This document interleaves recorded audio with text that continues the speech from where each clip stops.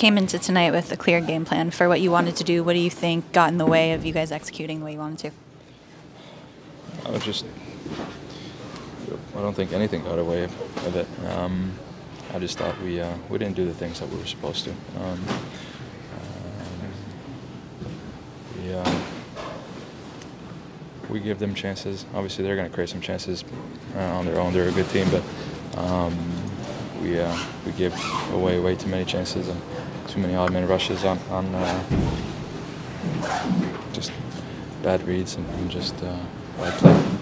Just came off a couple of days of rest, but practice day tomorrow. Get back at it on Saturday. Good to have another chance right away to, to get back to it. Yeah, uh, I mean, obviously we're not happy uh, with uh, tonight's result in tonight's game, but um, you know, think about it, be, uh, you know, be upset about it with it tonight, and then tomorrow get get ready to go and, and uh, big game on Saturday.